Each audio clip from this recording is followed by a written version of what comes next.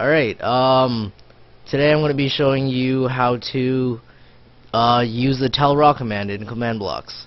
So this is um, fairly complicated thing to do, but I'll show you how to use a tool to really simplify this process. Alright, so we got this text that comes out of a command block using the tellraw command. And that is, uh, this is a test.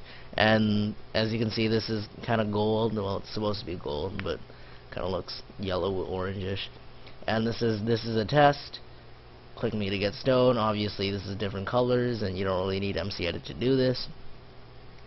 Click me to get stone. I hover over it. I see stone. Hashtag 0001 it's, uh, it's just a stone ID I can turn that on and off. And then as soon as I click click me to get stone I get stone. So yeah. See this is the command this is really long, but it's, you know, it's under. Well, I'll show you how to do it uh, using a tool right so, now. So um, here we'll uh, get to learn how to generate the tellraw command. So you're going to do at p, which specifies a player. At p is closest player. At r is random player. At a is all players.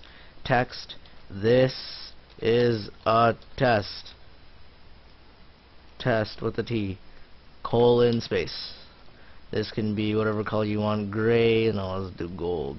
Bold extra click me to get stone. Yeah stone because that's the easiest item code. So light purple bold italic whatever the hell you want. Click event. This um, specifies what happens when you click the click me to get stone so I'm going to run a command and this is gonna be give um give at p one one. So that's like one stone. Because um the first one this over here is the data value for stone.